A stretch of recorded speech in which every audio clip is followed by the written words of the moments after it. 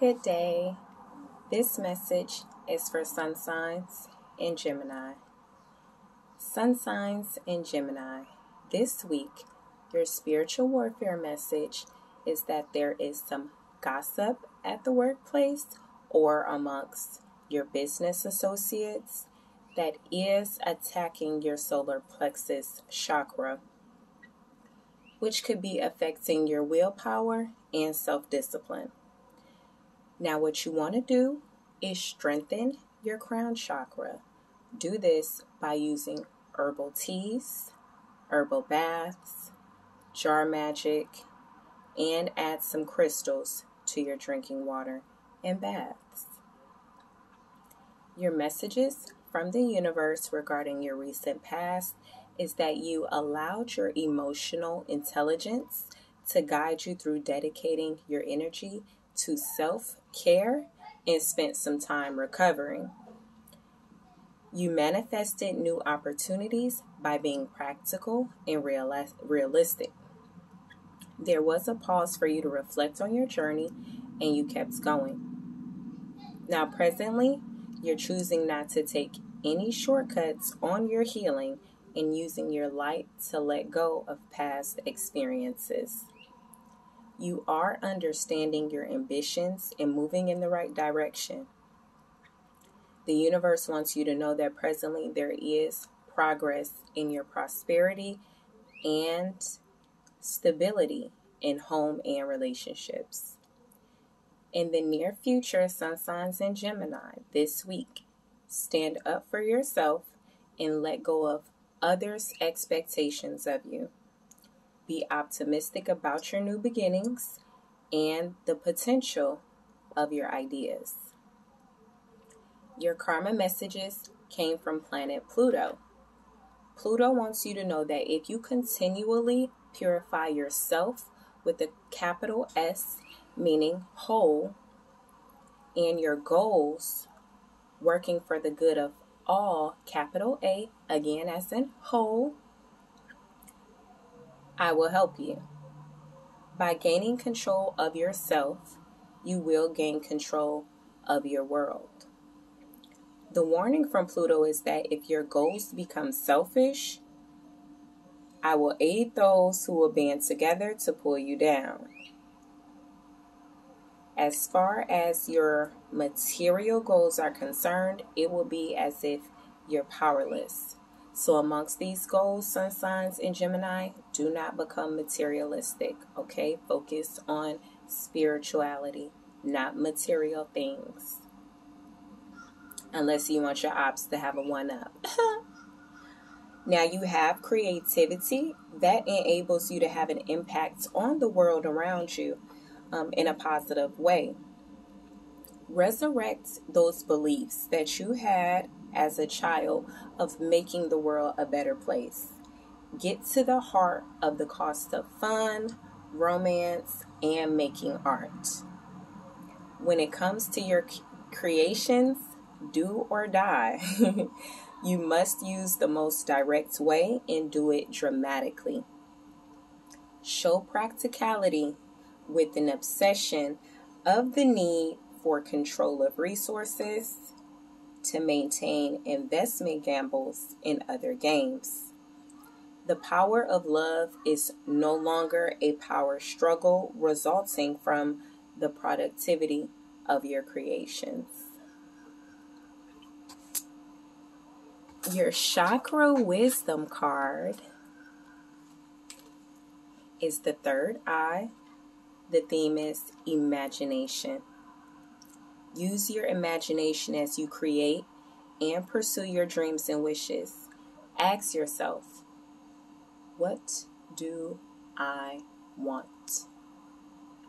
Your thoughts create your reality at the physical, mental, emotional, and spiritual levels. Use this power to create harmonious relationships between all these levels. Imagine the life you would like to have and encourage your thoughts to be truthful, wise, and discerning. In the quietness of meditation, see and hear the truth. You had two How to Love Yourself affirmation cards. The first one is I have abundance in all areas of my life. I claim abundance for myself right here and right now. I deserve to be prosperous. I deserve my good. The second one was I forgive myself for any wrongdoing. I no longer judge or criticize myself. I am free to love who I am. Your healing mantra is asking for angelic support. My angels respond when I am open and authentic about how I feel. That mantra is ideal for unraveling the spiritual ego, giving up patterns of avoidance, and being a better receiver. When asking for angelic support, you are requesting solutions from a higher realm of consciousness. Such a realm of consciousness works in accordance with free will to help you face your experiences instead of helping you avoid them.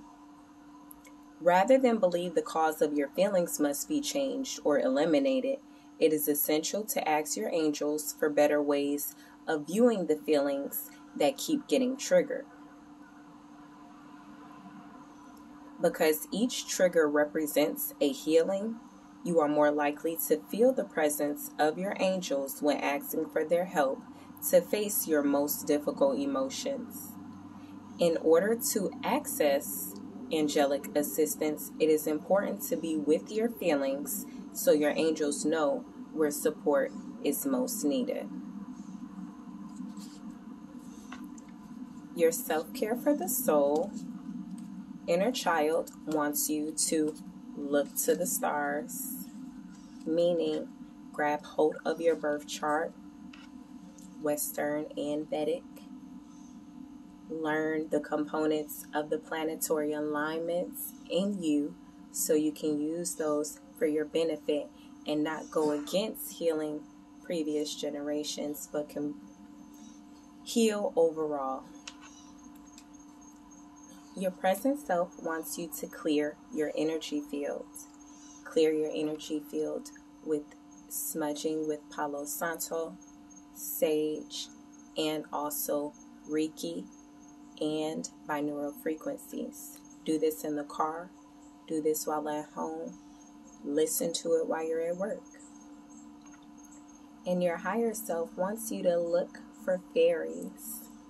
What that means is find the magic in everyday things when you're outside. We also have animal spirit guides, even dragonflies, butterflies. Make every daily habit task magical. Regarding your love life, reconciliation. Someone from your past is returning to your life. Your soul journey card was worry. I am learning that worry doesn't change an outcome. Worry is a wasted emotion.